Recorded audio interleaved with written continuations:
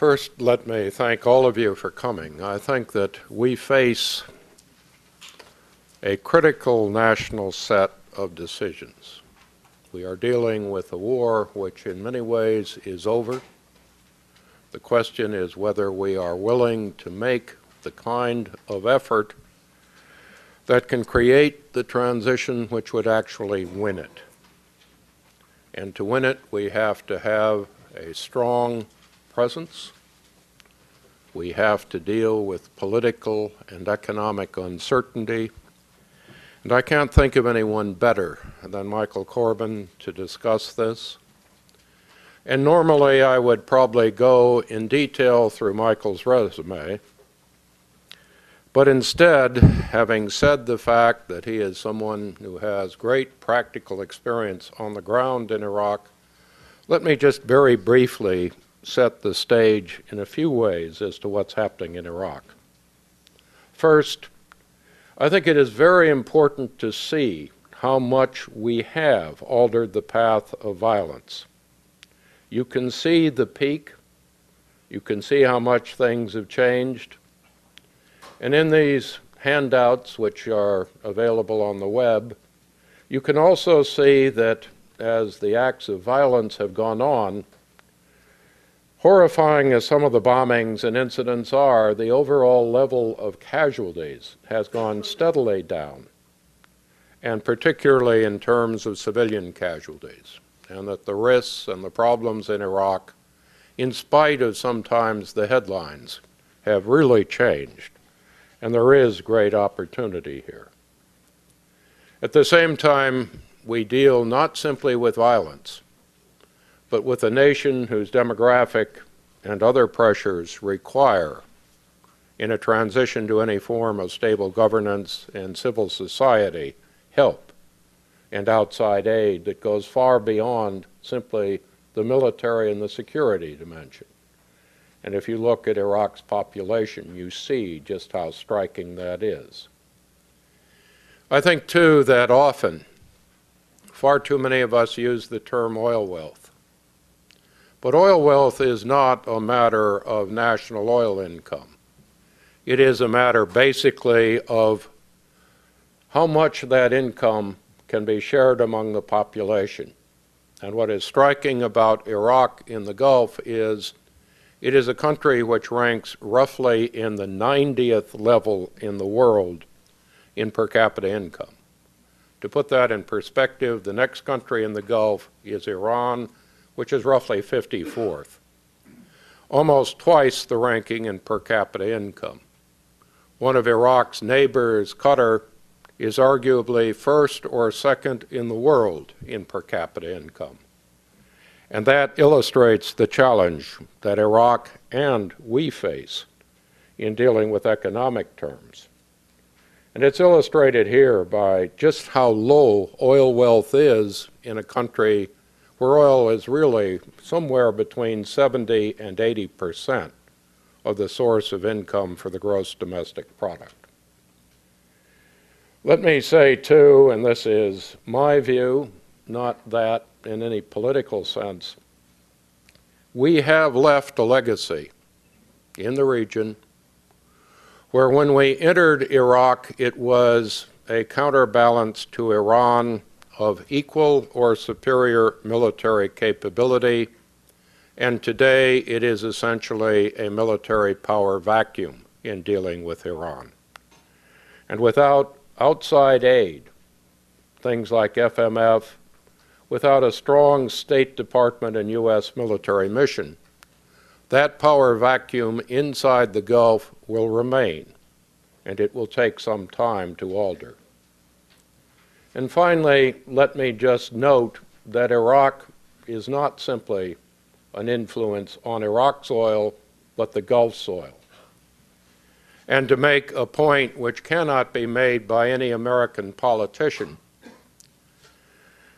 I was dealing with energy in the U.S. government when Richard Nixon announced we would achieve energy independence in 1980. Some of you may have noticed we did not succeed. What is far less popular to point out is that the models of the Department of Energy indicate we will not have achieved any meaningful progress in energy independence in all of their cases through 2035. More than that, these calculations are based on direct imports. They do not take account of the fact that every basic import we have in our consumer society is an indirect import of energy from other areas, and if it's Asia, from the Gulf. Nor does it take account of the global economy. And these are forces that I think are fundamentally critical to the role we will have in Iraq. And now let me turn it over to the real expert and let him explain where we stand and where we're going. Thank you. Good morning, everyone. And I really am impressed that we have um, this turnout for a subject which I think is particularly topical as we watch change in the Middle East. And what I'd like to try and do today in a compressed time is talk about Iraq, about Iraq's role in the region, and get a little bit to differences and similarities between Iraq and some of the uncertainty we're seeing in the rest of the region. Um, I'm going to try and leave lots of room for questions because I think that there are lots of questions and I won't be able to cover, I'll only be able to scratch the surface as I go forward. But let me, um, let me uh, outline what I'd like to try and do. I'd like to talk about the, the two transitions that I work with every day. Um, the one that consumes most of my planning time is how we're transitioning from a military security dominated relation in Iraq to a civilian led um, all aspects of cooperation relationship in Iraq. That's the military to civilian transition. The second transition, which permits the first transition, and I think is is actually something that is that's that's quite um, quite spectacular, is the Iraqi transition what Iraq is going through, how Iraq has changed, how Iraq is changing, I like to say every three months. I used to say that Iraq was changing and the rest of the Arab world was standing still. I can't say that anymore from the last three months as we see enormous changes going in the rest of the, of the Arab world.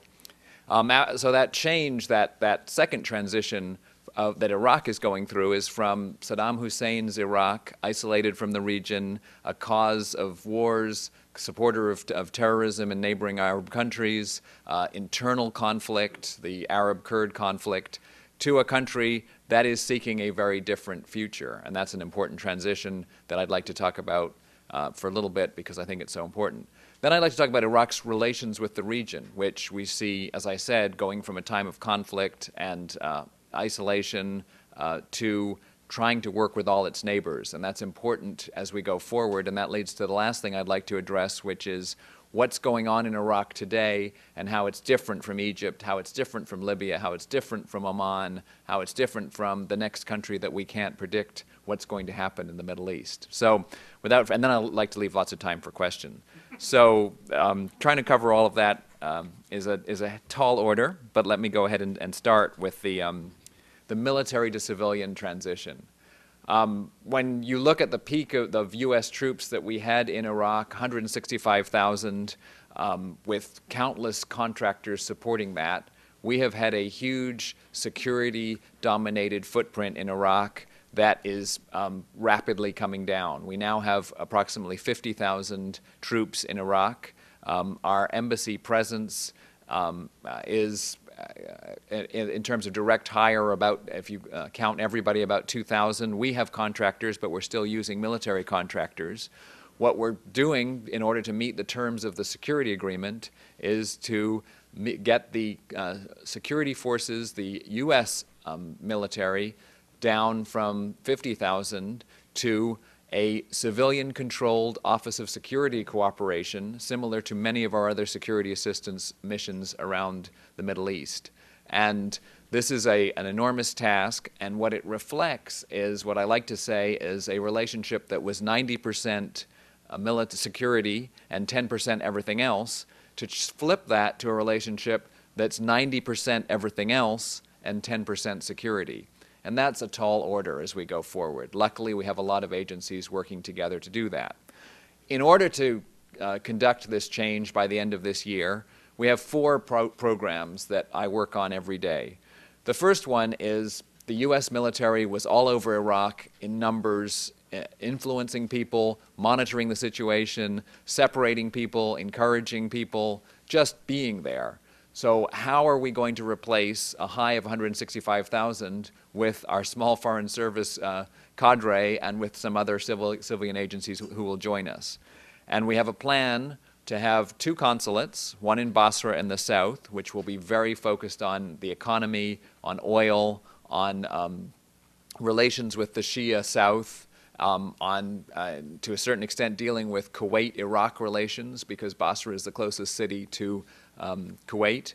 Uh, we'll have a consulate in the north, in Erbil. Different focus. This will be because the largest conflict in, historically in Iraq has been the Kurdish Arab conflict, and our consulate in the north will be working with both um, Baghdad and the government of the independent Kurdish region on all the issues that have to do with um, uh, Kurdish Arab relations. Um, because we need to be uh, around the country, we we have two things called embassy branch offices that we're going to have in Mosul and Kirkuk. And basically, you have an embassy, you have a consulate, and in the 'Stans, when we, um, uh, after the fall of the Soviet Union, we had things called embassy branch office. They are diplomatically recognized offices, and we're planning one in Mosul, one in Kirkuk, because they're on the Arab Kurd fault line, because Mosul is a Sunni center. It's, uh, it, it, Anbar has a lot of Sunnis, but when you talk about the Sunni political leadership and economic uh, leadership, uh, the Hadba gathering, for example, come from the, Mo- the Mosul area. Kirkuk is famous as the city that is the flashpoint between Kurds and, Kurds and Arabs, and we believe we uh, must have a presence there. And events in the last couple days um, point to the importance of being in Kirkuk. We also wanted to have an embassy branch office in Diyala, which has less significance but is still on that Kurd Arab fault line and has been the site of, uh, of dislo- dislocations, terrorism, and um, uh, human rights violations as different groups struggle for uh, influence there. So, the first of four programs that I'll talk about is that civilian presence that we have to have around the country. Uh, one thing that we've learned in over eight years in Iraq is that you can't do Iraq on the cheap and you can't do it with few resources in terms of people and presence. So this is very important. We, are, we have to have our presence in Iraq, and that's something that is a, a mainstay of our taking over for the military. The second program that we're focused on is called the Police Development Program. It's really more than a police development program. It's building on our support for rule of law in Iraq. That means judges, that means the prosecution, that means police, it means going after criminals as well as going after terrorists. We're taking over a program from the Pentagon that was focused on getting police recruits on the street to combat terrorism.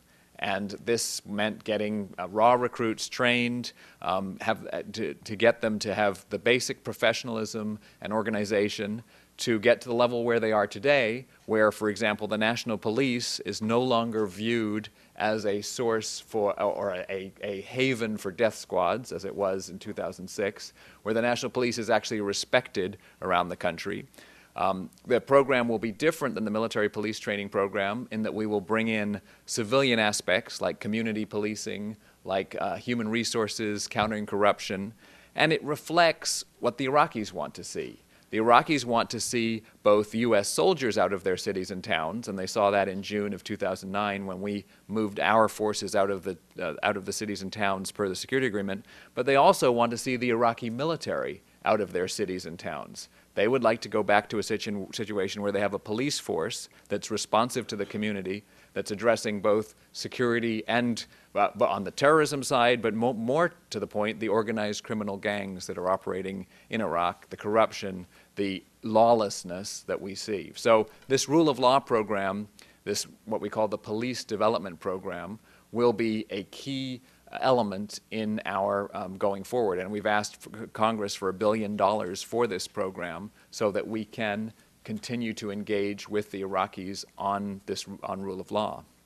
A third program, and I mentioned that uh, we're going to change from a 90% everything else and to a to having uh, 10 but maintain 10% security will be what we call a foreign military financing program, which is what's the basis for traditional security assistance around the Middle East and, and other parts of the world. Um, we want a large, robust program to work with the Iraqi military and Iraq, Iraqi security forces to continue the work that the U.S. military has done, but to in, inject into it some of the elements that foreign military financing brings, such as more attendance by Iraqi officers in command and staff colleges in the United States, more interaction between contractors and uniformed service people and all levels of the Iraqi military. And this program will go hand in hand with a large foreign military sales program because the Iraqis have already signed up for uh, over $10 billion worth of different types of American systems. My argument, since one of my um, tours in the, in, in the Middle East was working to defend our foreign military financing program with Egypt, where we gave 1 billion, 1.3 billion uh, every year since Camp David, has been that the results of that, the money that we gave, were seen in Tahrir Square when the Egyptian military, under impossible odds, did not fire on the protesters, respected human rights. A, they were not trained for dealing with civil disorder. They uh, were in, an, as I said, an impossible situation. And I would argue that our foreign military fund funding programs over the 30 years with the Egyptians meant a level of integration between U.S. values and U.S. Um, service people, the number of uh, Egyptian officers who attended command and staff training colleges in the States is enormous. The fact that the Egyptians had American systems that and contractors came with them, uniform services came with them, whether it was F-16s or Apaches or M1s. You had an enormous um, building of values and professionalism in the Egyptian military, which I think paid off in Tahrir Square still the history books are yet to be written about what the role of the Egyptian military will be. But we have an opportunity to build that kind of relationship with the Iraqi military so that they will not return to the period of the 70s when they were the source of coups in Iraq and they were a source of interference in, in the governing structures in Iraq. So the third program will be this foreign military financing program, which will go in hand in hand with foreign military sales. The fourth program that we'll have is traditional development assistance. And this means USAID, it means grants to civil society groups, all the traditional diplomatic tools that um, go with a development assist assistance program we have opportunities there because under the military, under the U.S. military, which was doing a lot of those programs, um, we weren't doing traditional development assistance. We were doing uh, uh, Commander's Emergency Response Fund assistance. We were uh, responding to individual needs rather than um, working with the governors. That's changing, and it's changed a lot even in the last three, two or three years. The governors have power in Iraq. They have the ability to, to determine where resources are spent. We're going to work with, uh, USAID programs and others, work with the local people on traditional development assistance programs. So those four um, base, those four pillars are going to form the basis of our military to civilian um, transition. There's been a lot of discussion about uh, whether there will be a military follow-on presence over and beyond the Office of Security Cooperation. And that Office of Security Cooperation will run our FMS, Foreign Military Sales, and Foreign Military Financing. Basically, the Iraqis have to ask us. We have to have an agreement on what the terms for a follow-on military presence will be, and we're not there. And we and that that's a, a subject that has to be discussed politically and worked out with the Iraqis as they look at what type of partnership they have. What I will just say is that we are planning for a robust Office of Security cooperation that will have sites around the country and will do this type of program that we've had with Turkey, that we've had with Saudi Arabia, that we've had with Egypt, that we've had uh, with other countries in the region. So that's the, the military to civilian transition. I can address um, lots of questions about our challenges, um, use of contractors, there's a lot of discussion of that how we're going to do security, why it's different than the military way of doing security, but I'll leave that for the question and answers. What I'd like to move to now is the, the second transition, which is where the Iraqis have come from, where they're going, where the challenges are, and how we are working with them as they go, go forward. Um, basically, my benchmark, although there's many different benchmarks, my benchmark is the period in 2006 when the country really looked like it was coming apart. When um, people can debate about whether the country was going into civil war, but there were bodies turning up uh, uh, up in the streets. It was on all the charts that were uh, that. Um, that, that Dr. Cordesman showed at the beginning, it was the peak of the violence in Iraq. It was when people really thought there was, there, there was a question of whether the country would survive. When you look at what's happened since then, um, we, it's not an oversimplification to say that Iraqis have rejected violence and have turned to compromise and po politics as a way of settling differences. Rather than armed militias, rather than defended neighborhoods, rather than Kurds and Arabs seeing different futures, rather than the Sunni sons of Iraq um, not participating in the, in, in the government. You see a situation now where there is broad agreement that uh, compromise and working together is the way forward. Now that has, has, is a result of elections. It's a result of decisions by the political leadership. But it, it does show a change in the basic um, way people are thinking about the future in Iraq. It, what goes along with this is a maturity on certain decisions, such as the decision on opening the oil sector.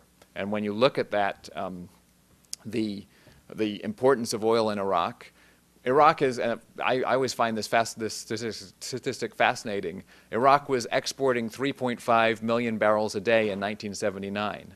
We're nowhere near that yet, although we're approaching that, but that's before Saddam Hussein launched the attack on Iran. That's before Saddam Hussein invaded Kuwait. That's in a, a period where Iraq was able to take full advantage of its oil re, uh, resources. Iraq now exports about two and a half million barrels a day. Um, that number is coming up, but they're limited on the infrastructure. They're limited by the capability of the infrastructure to do exports of oil.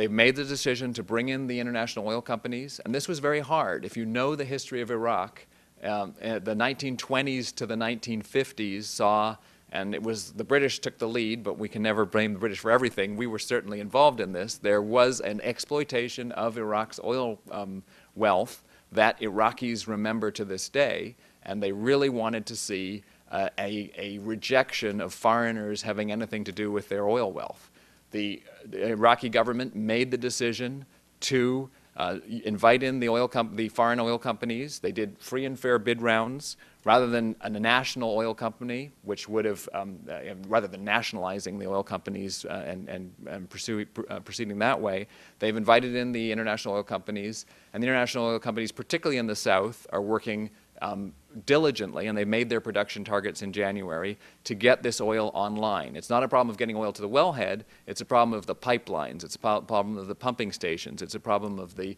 infrastructure required to get Iraqi oil to market so that we hopefully can change some of those charts that, that uh, Dr. Cordesman showed at the beginning. So where are we going in Iraq in terms of elections, in terms of government? We had an eight month government formation period. I'm glad to see that just the other day the Belgians finally did go longer without a government than Iraq. So I'm, I'm pleased to say that we, Iraq doesn't have the longest uh, government formation period. But that government formation period was important because it allowed the Iraqis to negotiate and to compromise. And as we look at the problems that we face now in Iraq, it's based on um, the fact that the Iraqis have a different way of trying to solve problems. Now, the government that we ended up with was the one that we suggested at the beginning, which is an inclusive government that includes all the different um, groups, Shia, Sunni, and Kurds, that includes the different political factions, including the Sadrists, who, uh, with their um, firebrand leader, Muqtada al-Sadr. The problem with this inclusive government is it's going to be a little bit difficult to make decisions because what you do, what you get is you get a government, of a coalition government where decisions have to be made by all and where efficiency is not going to be the name, the, the first priority. It's going to be consensus. And we realize that, but we believe that having the Sunnis participate, having the Kurds participate, having the Shia compromise and not hold on to all the power was the most important element in forming that government. The Iraqis have done that, and they're now, they're now dealing with issues uh, step by step. Um, just to point to the challenges of this inclusive government, Uh, everyone will have seen that last week, Dr. Iyad Alawi, the secular Shia who's the head of the Iraqiya bloc, which won the most votes in the, um, uh, the March elections last year, said that he was not going to participate in the government, and that was and that's a sign that um, that he has decided that the inclusive route is not going to work for him. The question for us was, would the members, the politicians in the Iraqiya bloc, largely Sunni, decide to leave the government with Iyad Alawi? And to date, there's been very little indication that the Sunni leaders are leaving. Basically, they have key positions in the new government. The first person named in the new government was Osama al-Nujaifi, the Sunni Speaker of the Parliament. Uh, the Minister of Finance, Rafi Issawi, uh, is a Sunni. The Salah al Mutlaq, who was a so so source of controversy, is back participating in the government. This, we still have to see the implications of Iyad Alawi's decision not to participate. Specifically, in terms of the process, Iyad Alawi had agreed to head something called the National Council of Higher Policies, which uh, is a mechanism to distribute the power of security services, um, and it was to remove all those decisions from Prime Minister Maliki's hands and put them into a more consensus organization. We believe that organization will still be formed. Iyad Alawi has said he will nominate somebody else to head that organization, but that is, it does um, raise questions as to how this consensus government is going to work. Uh, in terms of um, other elements that the Iraqis are working on, I mentioned the Kurd-Arab um, dispute. We see that the Kurds who were instrumental in the November decision, Barzani went down to Baghdad to help get this agreement between Iyad Alawi, Prime Minister Maliki, and the Kurds. The Kurds are instrumental in the formation of this consensus government, and all indications are that they have decided to continue to see their future in Baghdad and not in the mountains of Kurdistan as they may have done in the past. Now, the recent developments last week when the Kurds moved Peshmerga forces around Kirkuk was worrying for us. I have to say I was in Houston um, the week before last and I said that the greatest threat to Iraq is not the Arab-Kurd dispute, it is corruption. And I still believe that it is corruption, but of course, just because I said that, then the Arabs and Kurds uh, uh, created the situation around Kirkuk, which is always going to be a flashpoint. Now, the good news about Kirkuk is that the side, all sides are staying calm about this. They're working out the how to, to, to gracefully work out uh, a return to the original positions. Uh, the, the proximate cause of this de deployment was protests in Kirkuk that did in fact turn, turn violent. So there are discussions going on between the Kurds and the Arabs about how to resolve this um, uh, quickly and peacefully. And you have to understand the context that this is a part of the disputed areas that are so critical for um, but to be settled between the Kurds and Arabs. So the spirit of compromise is there. Um, the the issues, and I'll get that to that in the end, of how the government, the challenges the government's going to face, of call this all into question when you look at efficiency. But let me first talk a little bit about regional relations. Um, Iraq is trying to establish moderate, constructive um, cooperation with its neighbors and with the wider region. And you know, if you go around Iraq, whether it's Iran, Turkey, Syria, Jordan, or Saudi Arabia, or Kuwait, Iraq has a, uh, a consistent um, plan now to try and engage each of these countries in a constructive manner. Um, why don't we start with Iran, the most difficult, uh, because of the fact that the Iranians have tried to influence events in Iraq.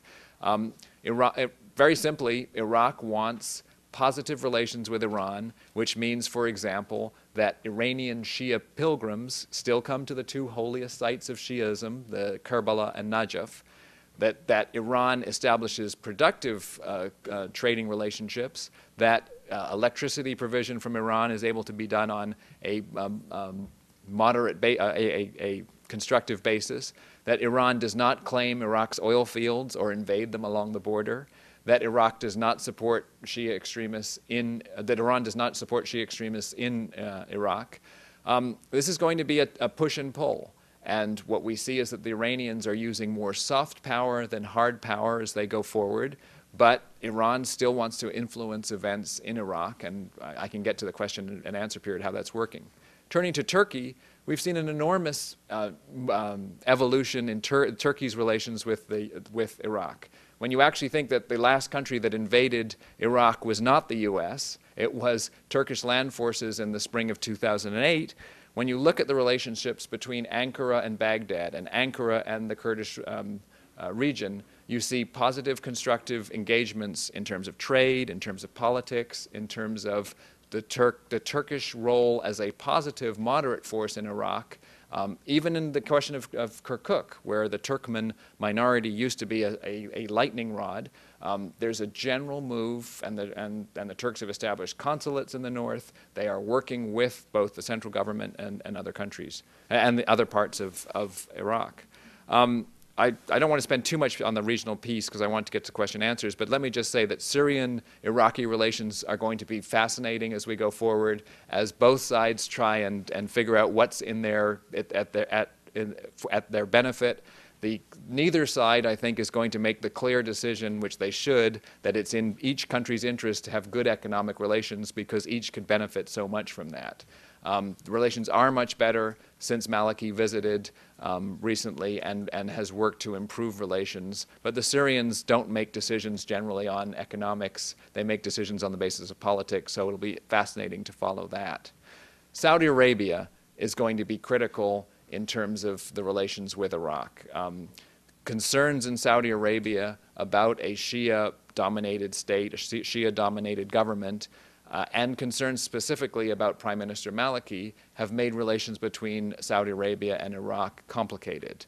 We see after the coalition government was formed, after the Sunnis have continued to participate in this government, that Saudi Iraqi relations are on the upswing and that there are indications that the Saudis will work with the Iraqi government. Now, this is complicated by everything else that's going on in the region, and I think Saudi Arabia is much more focused on Bahrain now than they are on Iraq, but we will monitor this carefully. On Kuwait-Iraq relations, uh, this is important because, of course, Kuwait has the, the most to fear from Iraq, but we've seen positive indications there in the visit of the Kuwaiti um, Prime Minister to Iraq in January, and then Prime Minister Maliki's visit to Kuwait recently. Uh, Kuwaitis and Iraqis want to have economic relations. Uh, they want to be able to have to to work together, but there are pol political concerns on both sides, and that that will be an interesting one to watch. I would just say that that brief review, and I didn't mention Jordan because that's basically a positive relationship. These the these relations are, show the Iraqis trying to develop positive, moderate relations with all their neighbors. And this balancing act is going to mean they'll come under pressures. But my bottom line would be to argue that Iraq is not under the domination of any one of these countries. Some people say it's Iran, some people say um, Turkey, Saudi Arabia, and others will play enormous influence in Iraq. They will seek to play a role in Iraq, but Iraq will work to balance those influences. Speaking about the, the region and Iraq, what's going on in Iraq as compared to the rest of the region. Um, we saw protests last Friday and the Friday before that became violent. Um, the bottom line that, uh, that we report on these protests is that people are protesting not for regime change, but for services, against corruption, for better government response to their needs. When you looked at those GDP figures and when you look at the, the educational needs and the employment needs, Iraqis have been protesting and will continue to protest for more accountable government. And the fact that these uh, um, demonstrations turned violent depends on where they occurred, what the local governor did, what the Iraqi secur- how the Iraqi security forces re- uh, reacted. And there were problems Friday, two Fridays ago. Last Friday, we saw the Iraqi security forces uh, reacting in a much more measured way. Um, but there have been signs on both sides that these protests will continue. The government is concerned about these protests, and we've protested against some actions against journalists. The, there were apologies about actions against journalists, but that's not enough. There were act actions just yesterday against two political parties that may have had their offices uh, closed. We have to watch what the government is doing as they go forward. But then we also have to watch what the protesters are doing. Muqtada al-Sadr, the Sadrist leader, has been known to call demonstrations against the state and to, to, to and of course the Jaish al-Mahdi was um, the, the, in, in, conflict with the state until um, Maliki, uh, with significant help from us, crushed them in 2008, in, um, first in Basra and then in Sadr city. But we have to watch what the other sides are doing as we go forward. But basically, you're going to continue to see protests in Iraq, especially as the summer months come and people want electricity, and the electricity is always going to be behind as we go forward. Um, the, Beij- the attack on the Beiji oil refinery last week didn't help, although news reports about how bad it was are not, uh, it's not as bad as has been reported. Um, the Iraqis will be able to put the Beiji re- refinery back together, but this shows that there will be continual challenges as they go forward. Um, let me, let me wrap up by talking about some of the, the major challenges that Iraq faces. Um, the issues, I think, are corruption and employment and education. And all three of these issues are going to be something that we will try and work with the Iraqi government on, but the Iraqi government is going to have to make enormous strides in order to keep up with the demands of its people. Um, on education, you basically, for the last eight years, have had people, teenagers, uh, not going to school the way they, they need to in order to be trained for jobs. Um, unemployment, we need to look at sectors such as agriculture, which can employ. The oil sector is never going to employ a lot of people. That's just not the nature of the oil sector. But agriculture is something that the Iraqis um, do want to return to their farms. Irrigated agriculture is something that is, even Saddam Hussein was not able to destroy that. And a- irrigated agriculture went uh, into uh, recently, until the last eight years, irrigated agriculture has been important. Um, the Iraqis are going to have to um, combat corruption. This is go- and this is where our rule of law programs are extremely important. The, the, the hope is that the Council of Representatives, the, the Parliament, with 325 members, will continue their efforts to co- combat uh, corruption. I say that at least 90% of those parliamentarians ran on an anti corruption par- um, pro- um, program. The governors are under the spotlight. The prime minister is under the spotlight. Hopefully, being under the spotlight and hopefully with a free and fair media, although we've seen some challenges to the media, we absolutely believe that Iraq still has the ability to use its media, or people have the ability to use their media to, to combat corruption. We'll have a basis to, uh, to deal with this big uh, challenge. Well, I said I would speak for 20 minutes. I think I've done a little bit more than that, and I've only scratched the surface on all the elements that we have in Iraq. But I hope we can have a- an open discussion, and I can talk a little bit more about um, Iraq in relationship to the rest of the region as we go forward. Michael, thank you very much. Uh, Ladies and gentlemen, the kind of data that you've seen in these charts on the levels of violence, some of the issues in shaping the strategic importance of Iraq are available on the web along with the details of the FY 2011 and 2012 budget requests that Michael's gotten into. Now I move to the challenges of being moderator. If you look around, you can see there are a lot of people here. Let me, as we raise a question, ask you to do two things. First, make sure it is a question with a question mark. And second, it is a one-part and relatively short question rather than an introductory speech.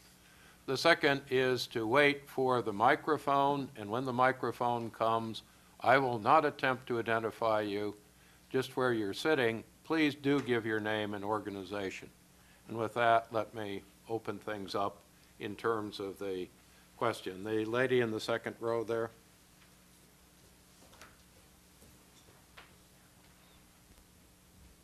Thank you. Uh, Molly Williamson, Middle East Institute.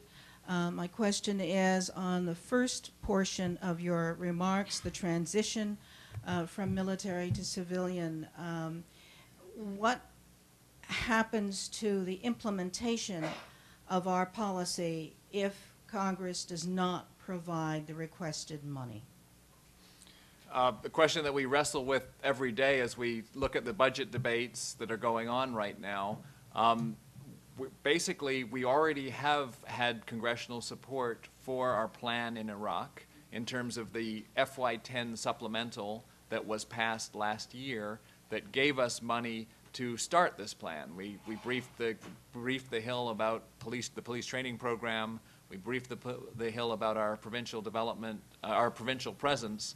Um, obviously, we need the support of Congress as we go forward in order to be successful. And Secretary Clinton went up to the Hill last week for three separate occasions and made the point repeatedly that what we're doing in Iraq is vital to what the State Department is doing. As a foreign service officer, when you know, Vice President Biden said this was the biggest thing we're doing since the Marshall Plan, we really feel it in the State Department. This is an opportunity for us to take over from a military in a conflict situation and to build the civilian institutions and um, set the stage for other conflicts and other countries, which will all be different, but that if we can succeed in Iraq, at least we lay the basis that we can succeed. It may be different in Afghanistan, it may be different in Yemen, it may be different in Somalia, but the, this sets the stage for a success.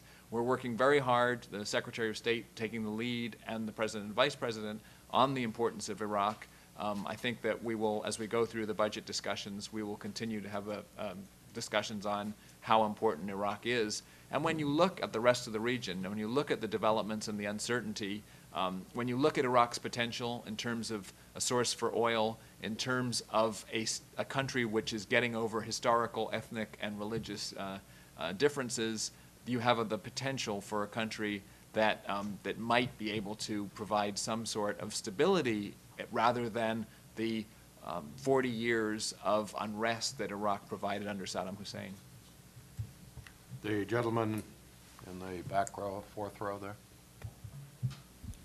Uh, Thank you very much. My name is Can Ozan with the Turkish Embassy. Just for the record, you alluded to Turkey's cross-border operations in 2007 as invasion. I mean, we cannot agree with that because we were under severe Excuse attack me, with the uh, just a question. I'm Uh, sorry, we are Just not for the here for record, because it's the second time, and I I'm think the last sorry, country you made please. was Iran and Bhutan. Right, for thank the you oil. very much. Thank you. Uh, In the back there?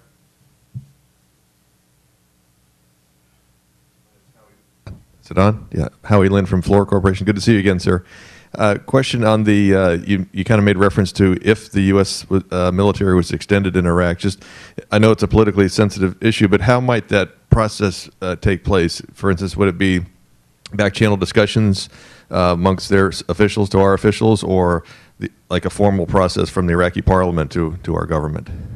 If you, if you could comment that. Thank you. All- All I can say is that, um, that we went through the security agreement process, which was a very formal process where the, the Council of Representatives, the equivalent of their parliament, did vote and approve the security agreement. And uh, the, because they have a parliamentary system um, with uh, the checks and balances that have been brought, that from, that in their constitution that have similarities in our system, um, there will be a discussion that has to be a formal process on the Iraqi side. Um, there is, we have a similar, separate agreement called the Strategic Framework Agreement, which talks about all sorts of different uh, types of cooperation, but for the type of, um, if you want to call it a status of forces agreement that would be necessary for a security um, uh, follow-on agreement, it would necessi- necessitate a formal process, is all I can say. But we're not, we're not at that in a formal process. The gentleman in the first row here.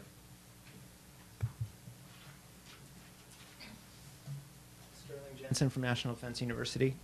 Um, it, it seems that the, the Iraqi government has ha- got, got a lot of confidence um, in the in the last three weeks because of all these unrests, and they you know see that they can be a model for democracy. And you've talked about you know you know the U.S. has a lot of interest in this success, obviously in Iraq, but some Iraqis feel like the U.S. has lost interest a little bit in Iraq because of what's going on in the Middle East. I mean, how? I mean, do, I mean, do you, have you noticed that? And what you know, what is the U.S. going to do to show Iraqis that they are going to be a priority, rather than just focusing on Libya or these these other other things? Um, I think that we're, um, in some ways, lucky there because I've been working for the last pretty much two years on this military to civilian transition, which involves enormous cooperation with the Iraqis. I think that the vice president's leadership and the fact he's visited Iraq more than any other country shows the Iraqis we're um, focused on their situation. The fact that we have a $6.2 billion request in front of Congress right now that the Secretary of State is defending, I think sends a message loud and clear that we are working with the Iraqis. Um, the high-level visitors continue to go to Iraq. I think that everyone is looking at the rest of the region, country by country, and there's a lot of concern, but we have the basis, uh, a security agreement and a strategic framework agreement for cooperation with the Iraqis, and they see that every day. They've got a process where they've formed an inclusive government that wants to deal with us and that wants um, diplomatic relations with us in, in every way. See. Uh, The gentleman over there in the back. Bruce Wright, uh, Senior Advisor, CSIS. Uh, Michael, thanks very much, Dr. Cordesman. A question really for both of you. Uh, I'm interested in your views of the long-term impacts or diplomatic considerations for the presence of U.S. air power in the region, specifically Al Udeid, and been in Qatar a long time, and Incirlik in Turkey. Um, neither I note geographically are in Iraq, which I think is important to note that um, we don't have a, pla- a plan for um, long-term air presence in Iraq. Um, there has been discussion of the Iraqis buying F-16 aircraft, which was one of the elements of the Egyptian foreign military financing program that I pointed to as I believe being very successful in the future.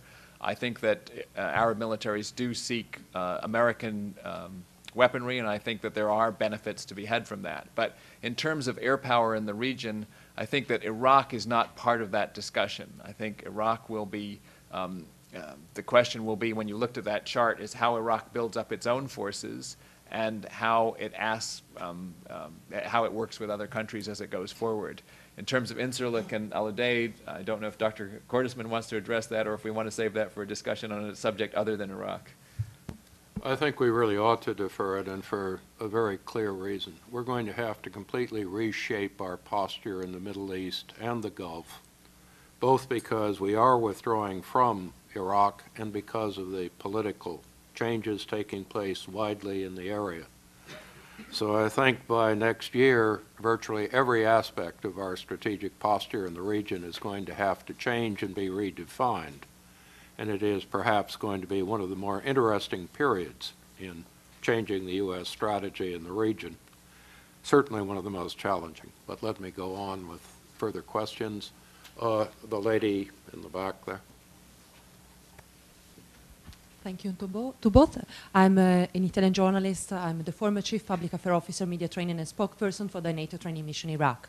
So I would like just to ask you, uh, in Italy we had corruption. In Iraq there is still corruption. In which way you think is the, I mean, which is the best way to eradicate it? Uh, I think the, the best way to eradicate, you, don't eradicate corruption. I mean, in the Uni- U.S., we still have corruption. Um, what you need is, I think, at least three things. You need a free media that can write stories or, or do TV specials on all types of corruption, even that of government officials or those uh, in positions of power. Um, you need a judiciary judges and prosecutors who are empowered to go after corrupt uh, individuals and are not threatened or bribed um, to prevent them from doing that.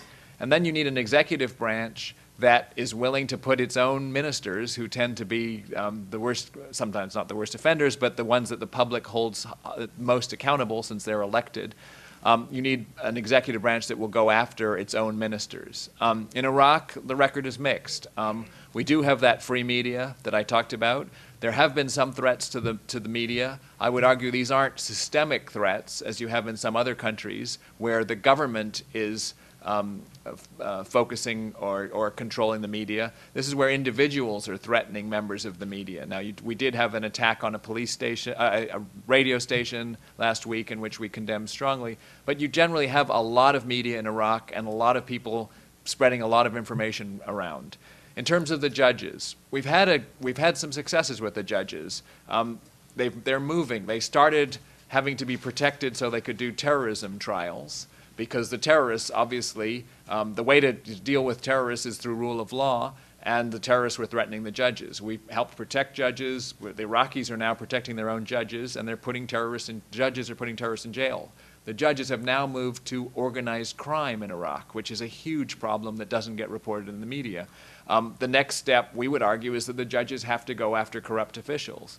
Each of these stages is hard, but that's where we have this rule of law engagement with the judges, and our Department of Justice is very active there. So we think we have a way forward.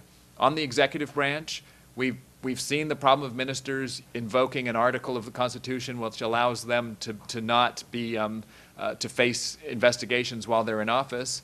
Um, we, I believe that the Parliament, the 325 member Council of Representatives, is going to go after these ministers as they did last year Um, and this is going to be something where the executive branch is going to have to be, have to be accountable and have to respond.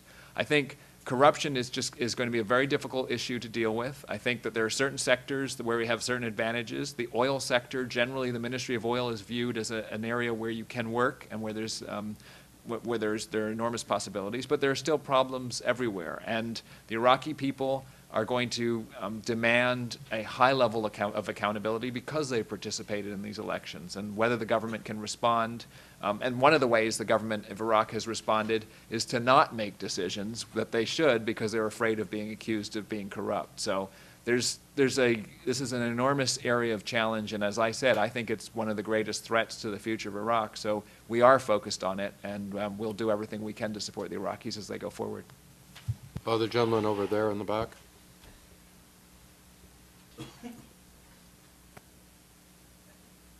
Chairman, thank you for the presentation. Good seeing you. Uh, following the demonstrations, uh, my name is yourself, my name my name is Ahmed Ali. I'm an uh, Iraq analyst at the Washington Institute for Near East Policy. Uh, following the demonstrations, there have been calls by Prime Minister Maliki and the Speaker of the Parliament to hold earlier le- elections, whether uh, local or provincial, uh, which will clearly be an Iraqi affair. Could you tell us what will be the position of the U.S. government with regards to those elections if they happen, and what kind of assistance will be provided to elections in special places like Kirkuk, which uh, which hasn't had uh, provincial elections since uh, 2005? Uh, Very important question, because these local elections, the municipal elections were supposed to be held in conjunction with provincial elections in January of 2009, and were not held. Um, The municipal, municipal elections are extremely important, because they've, there have been elections for the governors and for um, that level of provincial authority, but there haven't for the municipalities, which have um, councils that have held on for, since uh, 2000, well, they've had, they haven't had real elections for those councils in a long time. Um, Our position is strongly to support these elections, and um, the only reason that um, the municipal elections didn't move forward is because they, there just wasn't the organization and the ability to hold those, but we are pushing for um, uh, municipal elections to be held. The way we supported these, and I think this was a success story, or we supported the provincial elections, was the civil society organizations, and that's another, oh, when we get to corruption, that's the one other thing I forgot to mention. What I'm very encouraged about in Iraq is the number of civil, civil society actors. Now, some of them are just political fronts, and some of them are websites with one people, but there are a lot of civil society actors in Iraq who were organized. And Iraq's elections were um, monitored by Iraqi observers who met, represented uh, many of these NGOs in Iraq. The NGO law that was passed by the Council of Representatives last year is one of the most forward-leaning in the region. The civil, the encouraging civil society is something that we think is extremely important in Iraq, and I think they will, those civil society organizations who've already gone through the experience of supporting um, the provincial elections and the national elections will provide a basis for, uh, for supporting more elections into the future, and, and that's something that we will continue to work on and continue to support. The gentleman in the second row there.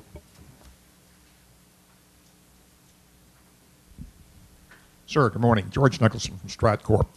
In your introductory remarks, you said you would get to contractor support in the question and answer period, particularly with the withdrawal of U.S. forces providing airlift, quick response security, medevac, casualty evac. What kind of increased role, if there is going to be an increased role, do you see for companies like that were like Blackwater, uh, Triple Canopy, AAR for airlift and security? Yeah, the, the issue of contractor, and I thank you for getting to that, because contractor support is an extremely important issue, and, and the State Department is sometimes accused of going to be relying on a contractor army to do all of the functions that the government itself should be doing. The fact is that um, if you go to a U.S. base in Iraq now, the uh, perimeter security is largely performed by contractors. The, under the LOGCAP system, the basic life support for the U.S. military is provided by contractors. We're taking over those contractor services in order to have, uh, get that type of support that the U.S. military has decided that it needs and that we are going to need in a similar security situation in Iraq. Um, the issue of how we manage them, we have ways of managing them that we think have go beyond the way that other people have managed contracts. Um, after the Blackwater Nas- Nisour Square incident, um, the, the, the, impl- the controls that we implemented meant we've had no in- incidents with our private security contractors. I'd also note that as opposed to Afghanistan, where private security contracting companies have a hard time, after 2000 and, uh, not well, in, starting in January 2009, those security contracting companies that didn't make, didn't apply for licenses, translate their documents into Arabic, register their weapons with the government of Iraq, left Iraq. And those security companies that are operating in Iraq are now those who are working with the Iraqi government very well. There's bureaucratic headaches, there's difficulty for security companies, but you see a large number of security companies providing security for Iraqi officials and Iraqi businessmen and others in Iraq and there isn't this feeling, as there, I, I understand from Afghanistan, that uh, of rejection of those contracting companies. There will be an enormous role for contracting companies in Iraq as we go forward. The, the key is how do those contracting com- countries, companies work with the local, with the host government? And we've seen enormous progress. These are professional companies that operate in Mexico, South Africa, other, other places around the world. It was dif- difficult when the U.S. military was in control to tell those contracting companies they had to work with host government. Now they're doing that, and we see a way forward where they can do that. And um, we'll see. We're, we're going to see the large, largest part. We're going to have approximately 17,000 total in Iraq in FY12, uh, or in actually in the in calendar year 12. Um, of that number, the vast majority will be contractors of one type or another, and security will be the largest component. But we believe we have the tools to manage those contractors as we go forward. The gentleman in the third row back there. Could you wait for the microphone, please? I'm Robert Gard from the Center for Arms Control and Nonproliferation.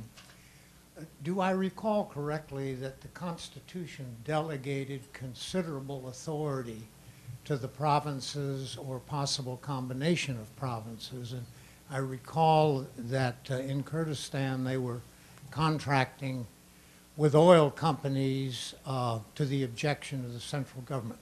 Is there a problem now with this Constitution, and if so, are we taking any action to rectify it? Um, a lot of um, complex elements in a, an answer to that. Um, one of the elements of the Constitution which allowed the independent Kurdish region is to allow groups of provinces to band together if they choose to by referendum to separate uh, or to not separate but to join into federation with uh, the, the central government.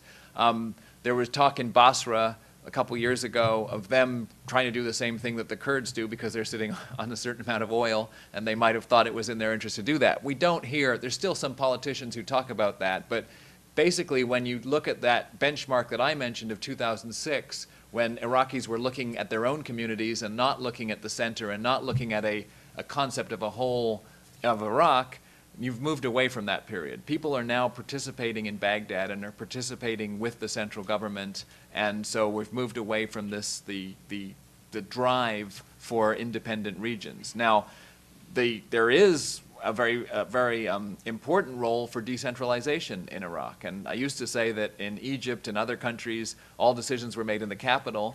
It's still probably the case, but things are being turned upside down in Iraq, in, in Egypt. In Iraq, the provincial governors have resource decisions, they have police uh, decisions, they have um, uh, governing council decisions that they make, which we think is a very healthy uh, development, and we're going to continue to encourage that decentralization as we go forward. And finally, on Kurdish oil, very important because this was an enormous source of friction between the central government and the Kurds. There's been a lot of compromise that went on during that eight-month period of government formation, and there is there's a recent deal where the Kurds are contributing to putting oil into the northern pipeline. Um, I think there's a lot of factors that go into that, but despite the events in Kirkuk last week, we see the K- Kurds and the central government working together for the um, exploitation of hydrocarbon reserves. The gentleman in the first row, and I do see the woman in the first row. I'm sorry, it was, I will get to you next. Arnold de Borgraf, CSIS. Uh, Dr. Corbin, the last time I read about the numbers in Baghdad and Kabul, these were the two largest U.S. embassies in the world. And what is the current number, and will that remain to be the number as far as one can see into the future? Um, the the issue there is the contractor support, because a lot of our functions now are being done by contractors who um, are under the LOGCAP to the military. We have about 1,600 um, foreign service officers, civil servants, 3161s, the different categories of people who are under our authority in Iraq. Um, that number of um, civil service, um, foreign service, 31 other agencies that are there will probably continue, may even increase a little bit as we take over some of the functions of the military. Um, the number of contractors that um, we can't even give a number of contractors because there's so many contractors working with the military in different functions. But as I said, we plan to go to a 17,000 total. If you go back to when I mentioned there were 165,000 troops in Iraq, at that time there were probably 100,000 contractors also. So you had qu- a quarter of a million um, U.S. Uh, uh, hires in Iraq in one way or the other. We will continue to have Iraq as one of the largest uh, embassies, if not the largest embassy in the world, because of the importance that we see in this supporting this transition as we go forward. And some people said, well, as the military comes down, then the state numbers should come down. We see the opposite. We can't, I mean, some of the military thought that as their numbers go down, our numbers would shoot up, but we, we can't do that because we don't have the, uh, the personnel resources and we have to support Afghanistan and the rest of the world. But we will maintain or, and, uh, a large presence in Baghdad and around the country. Because as I said, one thing we've learned from Iraq is you have to have presence and you have to be uh, on the ground and you have to be there in force in order to uh, engage um, the Iraqis. The lady in the front to the right.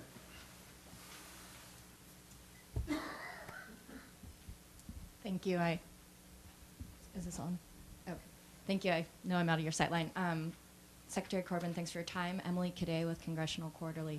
I was hoping um, to get your thoughts about how the current budget gridlock is affecting your planning on the ground in Iraq and in the State Department here in Washington, specifically the lack of a full year fiscal 2011 budget, what sort of uncertainty that's creating. If you're lacking the authorizations, you need to transition from military to civilian lead on some of these things. And as I said before, we've seen congressional support for what we're doing in Iraq. As Secretary Clinton mentioned in her testimony, um, we are very focused on having success in Iraq, and she spoke broadly about the impact on the whole State Department of the uh, projected costs that uh, cuts that are being discussed. Um, our planning is based on um, this military to, to civilian transition. The U.S. military is moving out of Iraq um, uh, according to the timelines. We have to move forward with our planning. We work very closely with Congress to provide them information on what we're doing there. Um, but this, uh, the current budget um, situation is worrying to us because we see this as an extremely important endeavor for the State Department, which, as I said, goes beyond what we're doing in Iraq, but has implications for everything that we're doing and for our ability to take over from the military in a post-conflict situation.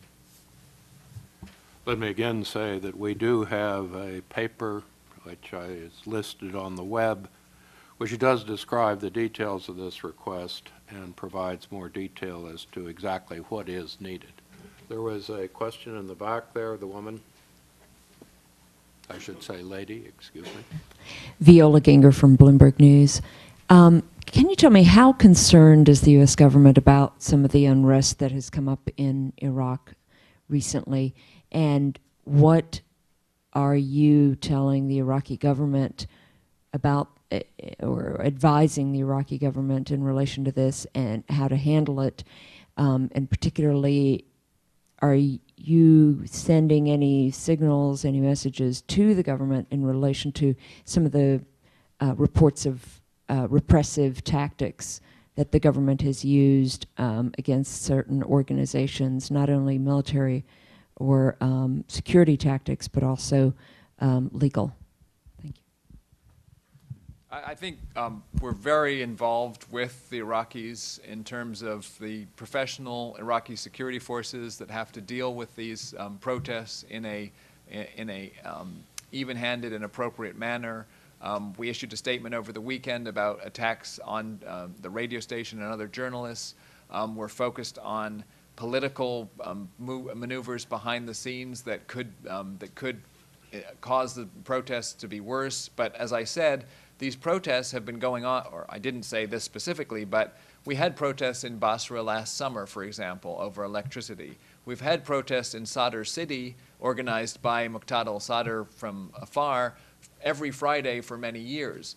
The question is how these protests will um, change as the new government is held more accountable. I say that the general themes across the Middle East of I want food on the table today, I want a job that allows me to put food on the table tomorrow, and I want an education for my kids so they can have at least as good a standard of living as I do, are prevalent throughout the Middle East as, the, as well as they are in Iraq. And we are working with the Iraqi government as they work to provide, and they have been working over the last couple of years. The, the, the person who, the, the people who have the most focus on electricity in Iraq is not the U.S. government. It is Prime Minister Maliki and the government of Iraq because they know that's one of the demands of the Iraqi people.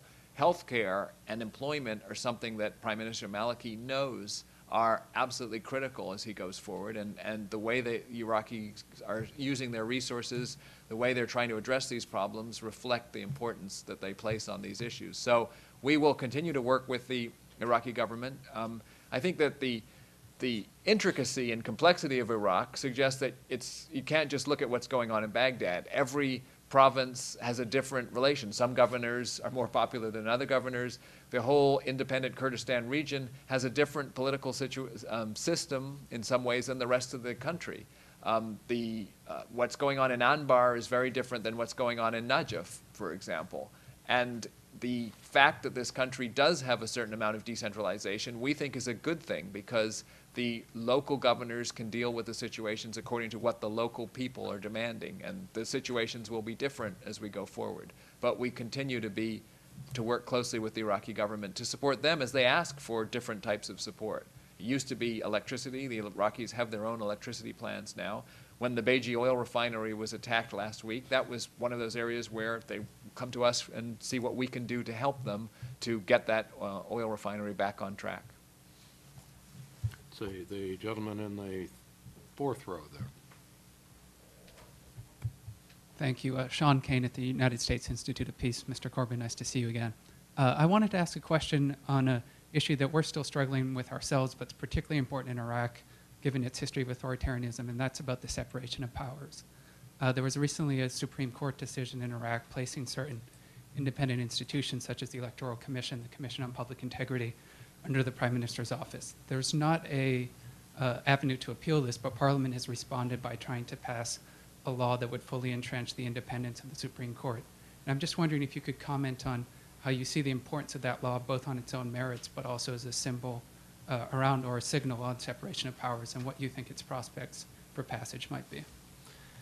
I, I won't get into specifics of, of the law, although one of the elements that we see as positive is the, the ability of the Council of Representatives to serve as a check and balance and to take actions. Um, there's going to be a tension between the central, the um, executive branch and Prime Minister Maliki in, in particular, his tendency towards centralizing decisions and um, running the country as he's been able to do in the past, and the new inclusive government that requires consensus and agreement. Um, I think that that when I talked about that positive trend towards decentralization, um, the general trend is, and, and, for any politician, I would argue, is the more decisions you can make yourself rather than having to make them in, co in coalition or consensus, the more you'll try and do. So we, have got to fight the, the, the tendency to centralize decisions. The, I mentioned the National Council for Higher Policies. This was extremely important because it set up a way of having um, more of a more um, uh, consensus and decision-making process on key security decisions or uh, decisions of, of, strategic importance. Rather than having the provincial commands reporting to the prime minister, rather than having the office of the commander-in-chief making decisions, um, the Iraqis are, are trying and we are trying to divide up these powers. Um, that, we think the parliament is the right way to address laws that will balance the executive branch's power I think that because of the protests, because of what's going on in the rest of the region, I think Prime Minister Maliki is going to be responsive to um, uh, calls from his people to um, uh, make decisions in consensus rather than making them by himself. Uh, there will be a tendency, as uh, electricity is one of those examples where Prime Minister Maliki made decisions to try and get more electricity online. And you can argue about whether that was, a, it was good that he did that or bad, but it was one of those things where a politician uses authoritarian tendencies to make right decisions rather than wrong decisions. So we will be following this very closely, and, and we commend the work of uh, USIP in, in uh, supporting this process there as we go forward. Um, the, one of the projects USIP did that I visited last year was getting a caucus, and I haven't mentioned minority communities here, so I'm just going to use this as a plug for the fact that we do follow that. Um, the communities, the Christians, the Shabak, the Yazidis, and others are have been under attack by terrorists in Iraq, extremists, because they are vulnerable, and we do have programs where we work to support them. But um, one of the elements that focused on the parliament was a USIP-sponsored conference to, to teach them how to caucus, to increase their numbers so that they could have more influence in this new parliament. And that's the type of project where you see Iraqi leaders using the, the, the tools that come from a checks and balance system to further their own uh, goals and we think further uh, the good of the country in general. The gentleman in the back row there. Amatzia Baram, Georgetown University and Haifa University. Two issues. One, Amatzia. Hi, long time no see. Uh, first, it seems to me that you still need a buffer force in the north, and you need some support for the Iraqis on the Iranian border, less on the Syrian one, but certainly the Iranian border. So if you, if you think that keeping some American soldiers still in Iraq, time is running out for SOFA, for a new SOFA. That's the way I look at it. You, you already are planning out, your, your military is planning to go out already. Uh, second, what will happen to the um, regional development teams? Regional development teams. provincial reconstruction. Yes. Uh, so on the first one, um, I, I think that the Kurd-Arab issue is go- being addressed through compromise, although we do have something called combined security mechanisms, where we have worked with the Arab forces and the Kurdish um, forces, mainly the Peshmerga. Um, we will, we are looking at how these, this uh, mechanism will transition. Um, we see that the, you know, there's a role for UNAMI, there's a role in the discussions between the central government and the Kurdish authorities on how they're going to address these issues, but we think it will be through compromise and that the presence of U.S. forces or other forces uh, may not be necessary. And if we see how this Kirkuk, the recent developments in Kirkuk are resolved, if they're resolved through political negotiation as we think they should be, that will be a good sign. Um, in terms of the provincial reconstruction teams, they are transitioning. We, we had a high, we had a, um, a peak of 26. We're now down to 16. Some of them are transitioning to be the consulate in Basra, the consulate in Erbil, the two embassy branch offices in Mosul and Kirkuk. Others are transitioning as they close. They're transitioning their functions to the provincial governors. Keep, we're making sure that we keep the contacts that have been developed. We're making sure that the, the Iraqis have access to us, either in one of the embassy branch offices or the consulates or in Baghdad itself. We feel that the experience of these provincial reconstruction teams was extremely positive. It was military-civilian cooperation. It was rocky at, at first, and some of the teams didn't work, but in the end, we believe it was a positive uh, example. And while the Afghanistan teams are different because they're military-led rather than civilian-led, there are some lessons that have been that we are passing on to the Afghan side, particularly as we look as they look at transitioning to more of a civilian lead rather than a military lead in terms of U.S. government presence. Uh, One last question, the gentleman there.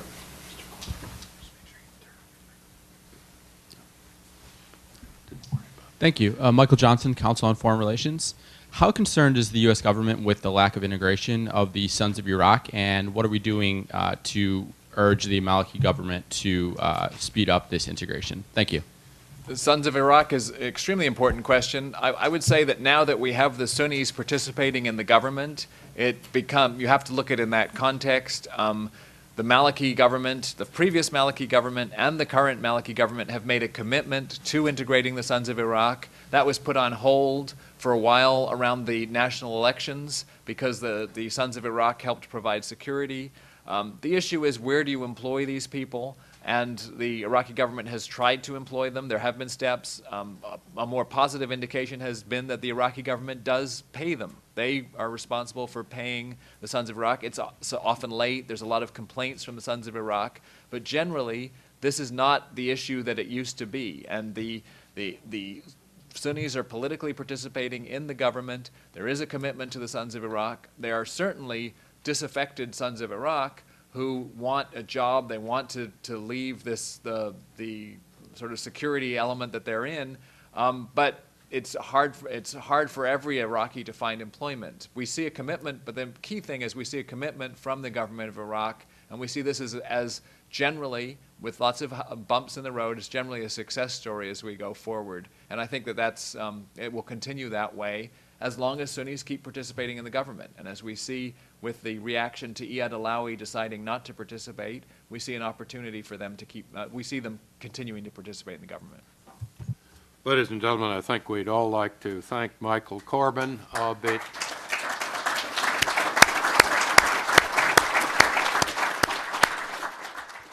But I also have a special request. I promised him he could leave by 10:25, which means he has to get in the elevator and get to a next meeting very promptly. So if we could give him the chance, please. Thank you.